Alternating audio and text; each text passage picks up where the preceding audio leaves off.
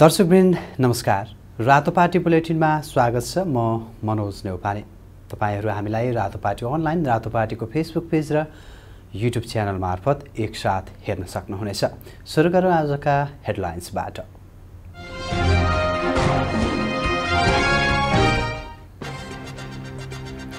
प्रधानमन्त्री शेरबहादुर देउवाद्वारा आइतबारका लागि सर्वदलीय बैठक आह्वान संसद गतिरोध र एमसिसी छलफलको मुख्य विषय रहने ओमिक्रोन भाइरसको खतरा बढेसँगै अध्यागमन विभागले गरेका निर्णयमा सिसिएमसीको अङ्कुश। अब सडसठी देशबाट नेपाल यात्रा गर्नेहरूका लागि सिसिएमसीले नै निर्णय गर्ने।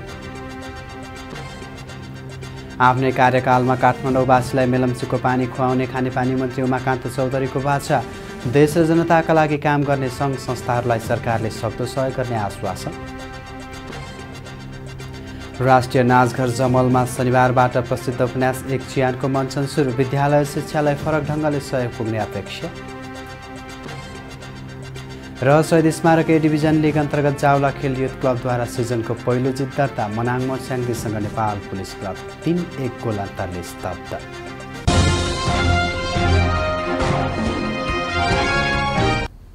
अब समाचार विस्तारमा।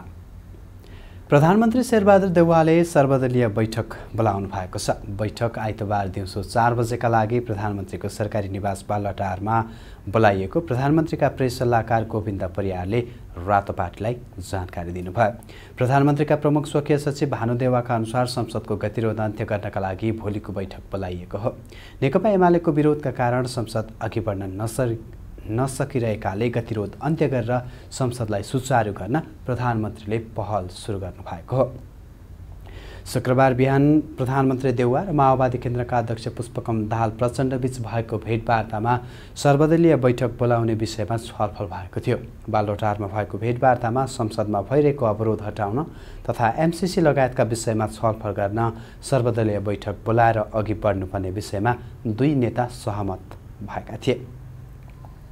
यता नेकपा एमाले भने सर्वदलीय बैठकमा सहभागी हुने नहुने बारेमा पत्र प्राप्त भएपछि मात्र निर्णय गर्ने भएको छ। एमाले अध्यक्ष केपी शर्मा ओलीका प्रेस सहयोगी रामशरण बजगाईले हालसम्म पत्र प्राप्त नभएको र पत्रमा उल्लेख भएका विषयमा विषयका आधारमा बैठकमा जाने वा नजाने बारेमा निर्णय हुने जानकारी दिनुभएको छ।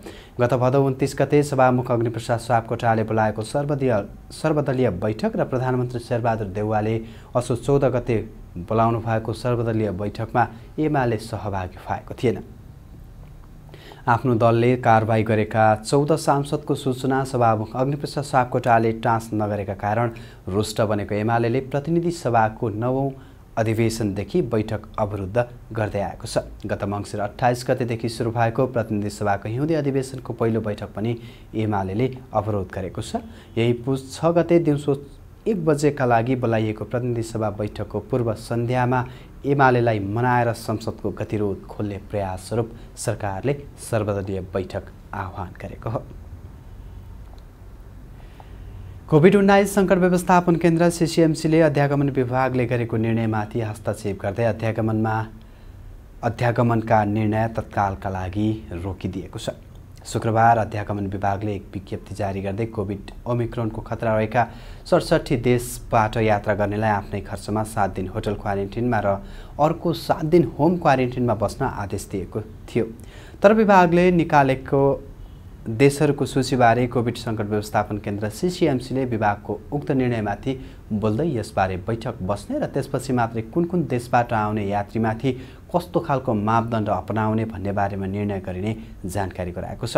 अध्यागमन विभागका महानिर्देशक नारायण प्रसाद भट्टराईका अनुसार सिसिएमसीको तर्फबाट सूचीमा राखेका देशहरूका बारेमा थप छलफल गर्नुपर्ने भएकाले सो आदेश तत्कालका लागि रोकिएको हो। विशेष गरेर अध्यागमनको निर्णय बारेमा सर्वसाधारणको प्रतिक्रिया आएपछि सिसिएमसीको अध्या ध्यानकसर भएको र यसबारेमा स्वास्थ्य मन्त्रालयसँग बसेर कति जरुरी हो भन्ने विषयमा छलफल गरेर नयाँ निर्णयमा पुग्ने पनि महानिर्देशक भट्टराईको भनाइ छ। खानेपानी मन्त्री उमाकान्त चौधरीले काठमाडौँवासीलाई आफ्नै कार्यकालमा मेलम्चीको पानी खुवाउने प्रतिबद्धता व्यक्त गर्नुभएको छ। मन्त्री चौधरीले केही समय अघि आएको बाढी र पहिरोका कारणले गर्दा बन्द भएको मेलम्चीको पानी काठमाडौँवासीलाई अस्थायी रूपमा भए पनि छिटोभन्दा छिटो खान पाउने व्यवस्था मिलाउने बताउनु भएको हो। शनिबार काठमाडौँमा आयोजित एक कार्यक्रममा बोल्दै उहाँले संविधानमा शुद्ध खाने पानी र सरसफाइलाई मौलिक हकको रूपमा व्यवस्था गरेको उल्लेख गर्दै आफ्नो कार्यकालभित्रै काठमाडौँवासीका लागि मेलम्ची खानेपानीको व्यवस्था गर्ने बताउनु भयो। मेलम्ची खानेपानीको केही दिन अगाडि बाढी पहिरोको कारणबाट काठमाडौँवासीले केही पानी खाइराख्नु भएको थियो।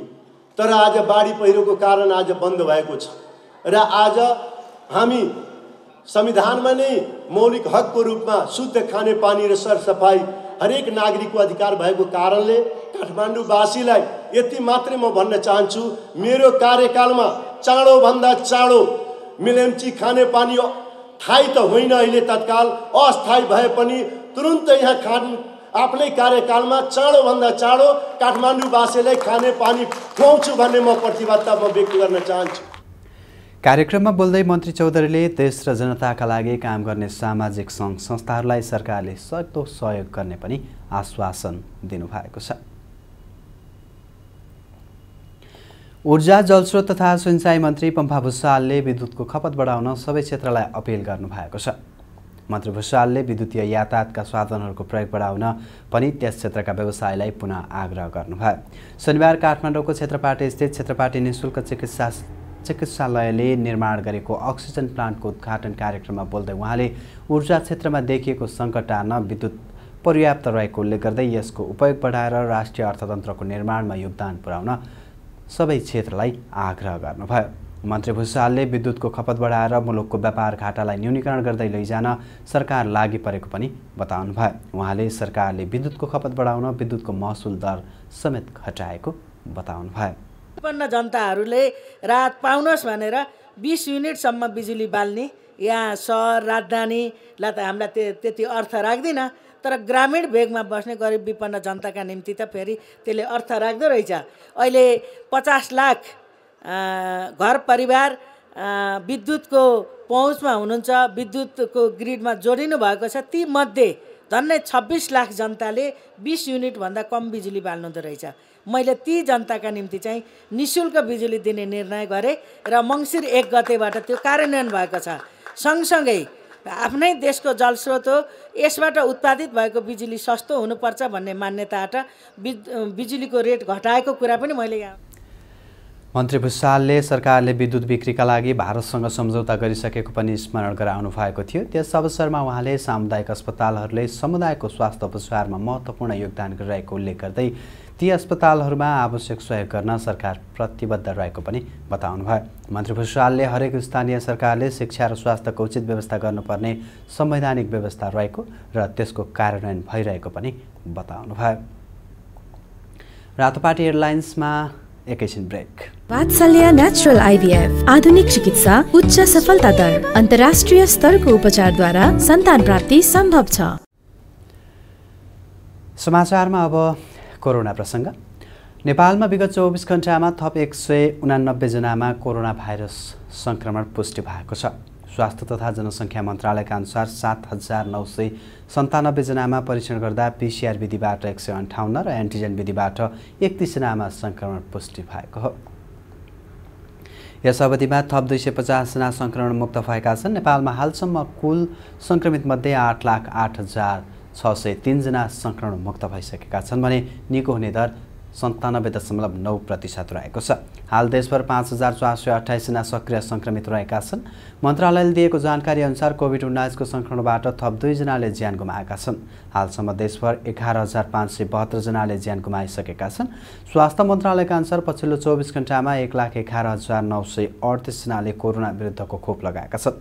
हालसम्म दुई करोड पन्ध्र लाख सन्ताउन्न हजार त्रियासी मात्रा कोरोना विरुद्धको खोप लगाइसकिएको छ। यसमध्ये सन् यसमध्ये पन्चानब्बे लाख बयासी हजार चार सय छ्यानब्बेजनाले पूर्ण मात्रा र एक करोड उन्नाइस लाख चौरात्तर हजार पाँच सय अठासीजनाले कम्तीमा एक मात्रा खोप लगाएको पनि मन्त्रालयले जनाएको छ। समाचारमा अब एउटा कला सम्बन्धी प्रसङ्ग। कक्षा बाह्रको पाठ्यक्रममा समावेश गरिएको प्रसिद्ध उपन्यास एक चिहान नाटकमा देखाउन थालिएको छ। सांस्कृतिक संस्थानले विभिन्न तहका पाठ्यक्रममा समावेश भएको कृतिहरूलाई नाटक मञ्चन गरेर विद्यालय शिक्षालाई फरक ढङ्गले सहयोग गर्न सो उपन्यासलाई नाट्यमा रूपान्तरण गरी मञ्चन गरिएको हो। काठमाडौँको जमलस्थित राष्ट्रिय नाचघरमा शनिबारबाट सो नाटकको मञ्चन सुरु गरिएको छ। वरिष्ठ साहित्यकार हृदयचन्द्र सिंह प्रधानद्वारा लिखित उपन्यास तत्कालीन समयमा नेपाल खाल्डो अर्थात् काठमाडौँ उपत्यकाको नेवारी किसानको जीवन परिवेशमा आधारित छ। सामाजिक जागरण र प्रगतिशील विचारहरू यस उपन्यासमा रहेका छन्। सांस्कृतिक संस्थानका वरिष्ठ कलाकारहरूको अभिनय रहेको नाटकलाई कलाकार वीरेन्द्र हमालले निर्देशन गर्नुभएको छ। दुई हजार दस एघार सालको काठमाडौँ उपत्यकाभित्रका नेवार किसान परिवारमा केन्द्रित रहेको सो नाटकमा जातीय विभेद वर्गीय विभेद अन्धविश्वास लगायतका विषय समेटिएको छ। समाचारमा अब एउटा खेल प्रसङ्ग। जावला खेल युथ क्लबले च्यासल युथ क्लबलाई हराउँदै शहीद स्मारक ए डिभिजन लिगमा पहिलो जित निकाल्दा पोखरामा मनाङ मर्स्याङदे फुटबल क्लबले विभागीय टोली नेपाल पुलिस क्लबलाई हराएको छ। त्रिपुरा सरेसिस दशरथ रङ्गशालामा शनिबार भएको पहिलो खेलमा जावला खेल युथ क्लबले च्यासल युथ क्लबलाई एक शून्य गोलले पराजित गर्दै पहिलो पटक स्पष्ट तिन अङ्क जोड्दा पोखरा रङ्गशालामा मनाङले पुलिसमाथि तिन एकको सहज जित निकालेको हो। लिगको चौथो चरणसम्म गोलको खाता खोल्न नसकेको जावला खेललाई जित दिलाउन विदेशी खेलाडी निकोलस फर्नान्डेजले गोल गरेका थिए। सडतिसौँ मिनटमा निकोलसले गरेको गोल नै जावला खेलका लागि जारी लिगमा पहिलो गोल भएको छ। च्यासलमा च्यासलका डिफेन्डर केचा यानिकको गल्तीको फाइदा उठाउँदै उनगना एन जुनियरको पासमा निकोलसले उत्कृष्ट फिनिस गर्दै टोलीलाई अग्रता दिलाएका थिए। यससँगै जावला खेलले सिजनको पहिलो जित निकाल्दै तालिकामा तालिकाको वरियता सुधार गरेको छ। रेलिगेसन क्षेत्रमा रहेको जावला खेलको पाँच खेलमा चार अङ्क रहेको छ भने जावला खेल दसौँ स्थानमा उक्लिएको छ यस्तै च्यासल एघारौँ स्थानमा रहेको छ। उता पोखरामा सम्पन्न खेलमा तिन एक गोलको जितसँगै मनाङ तालिकाको शीर्ष स्थानमा उक्लिएको छ। मनाङले पाँच खेलमा तेह्र अङ्क जोड्दा दोस्रो स्थानका दोस्रो स्थानमा मचिन्द्रसँग दुई अङ्कको अग्रता बनाएको छ। दोस्रो स्थानको मचिन्द्रको एघार अङ्क रहेको छ। उता पराजित पुलिसले पाँच खेलमा पाँच अङ्क जोडेको छ। पुलिस अङ्क तालिकाको आठौँ स्थानमा रहेको छ। रातोपाटी हेडलाइन्स आजलाई सकिएको छ। आजका हेडलाइन्स पुनः एकपटक सुरु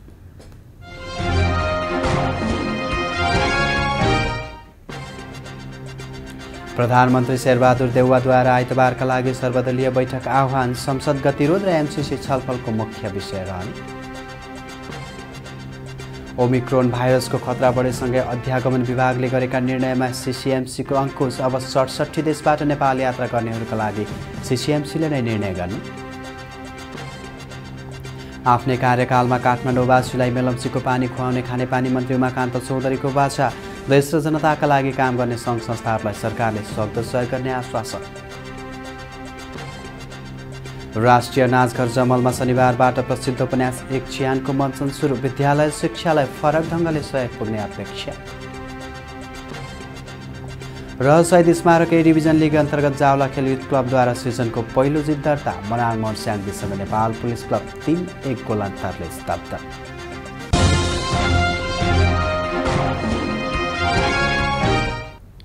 देश विदेशका समाचार विश्लेषण फिचर अन्तर्वार्ताका लागि रातोपाटी डट कम पढ्दै गर्नुहोला रातोपाटी टिभी हेर्दै गर्नुहोला। आजलाई बिदा दिनुहोस्। नमस्कार।